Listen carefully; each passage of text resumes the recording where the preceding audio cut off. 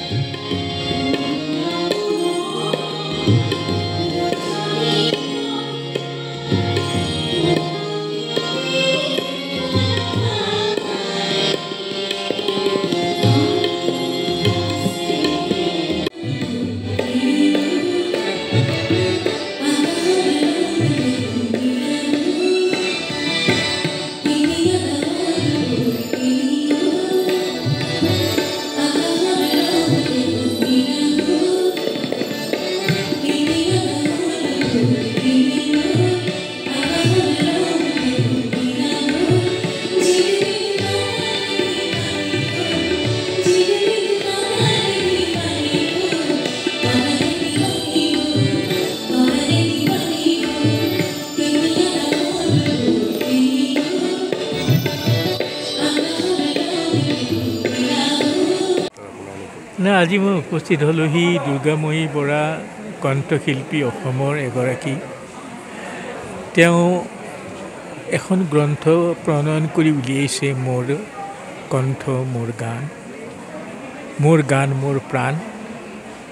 আৰু গ্ৰন্থখনৰ খবৰ পাই মই ইয়াত উদ্বোধনী উন্মোচনী অনুষ্ঠান মই আহিলোঁ।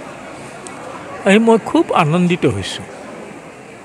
কাৰণ আমাৰ যিসকল গায়ক গায়িকা গীতিকাৰ সুৰকাৰ এওঁলোক আছে। তেওঁলোকৰ এই সৃষ্টিশীলতাৰ মাজত বহুত সংঘাত আনন্দ দুখ নিহিত হৈ থাকে। সেইবিলাকৰ খবৰ কোনেও নাপায়। যেতিয়া নিজেই আত্মজীৱনীমূলক এটা দৃষ্টিভংগীৰে লিখি দিয়ে বহুতে জনাৰ সুবিধা পায়। আৰু এইটো বৰ দৰকাৰ কাৰণ মানুহে গানহে শুনিছে। গান গায়কজনৰ অন্তৰালত সুৰকাৰজনৰ পশ্চাপত পশ্চাদপটত গীতিকাৰজনৰ বেকগ্ৰাউণ্ডত কি আছে এই কথাটো কোনেও খবৰ নাপায়।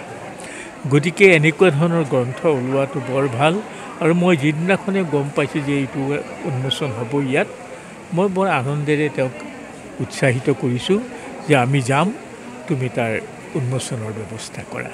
আজি সেই কথাটো হ'ল। দুই নম্বৰ কথাটো হঠাৎ আমাৰ মনলৈ আহিল যে দুৰ্গাময়ী বৰাই বহুদিন আগতে বহুত স্বীকৃতি পাব লাগে।